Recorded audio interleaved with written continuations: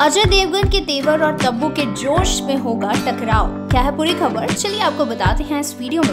दरअसल, फ़िल्म भोला का trailer release हो चुका है, जिस फ़िल्म का बेसब्री से फैंस कर रहे थे इंतज़ार।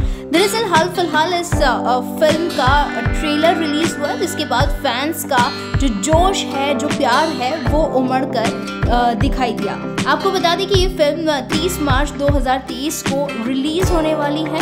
साथ ही फैंस काफ़ी ज़्यादा एक्साइटेड थे तब्बू और अजय देवगन को एक साथ देखने के लिए। और हाल फ़िलहाल फ़िल्म भोला का ट्रेलर जब रिलीज़ हुआ तो फैंस ने इसे बहुत ज़्यादा प्यार किया।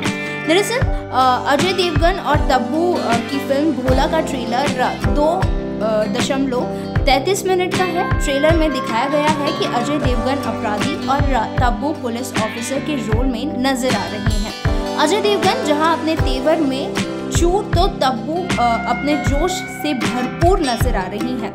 फ़िल्म भोला में अजय देवगन और तब्बू की टकराहट जो है, वो वाकई में देखने लायक होने वाली है। साथ ही आपको बता दें कि फ़िल्म भोला जो है, वो तमिल फ़िल्म कैथी का रीमेक है। अजय देवगन ने इस फ़िल्म में एक्टिंग के साथ ही डायलॉग डिलीवरी में भी कमाल दिखाया है और फैंस काफ़ी ज़्यादा एक्साइटेड है। तब्बू और अजय देवगन को एक साथ देखने के लिए। साथ ही आपको ये भी बता दें कि नवी फ़िल्म होगी तब्बू और अजय देवगन की एक साथ। फ़िलहाल फ़िलहाल दृश्यम टू में नज़र आए थे दोनों, जिसे काफ़ी ज़्यादा प्यार मिला था।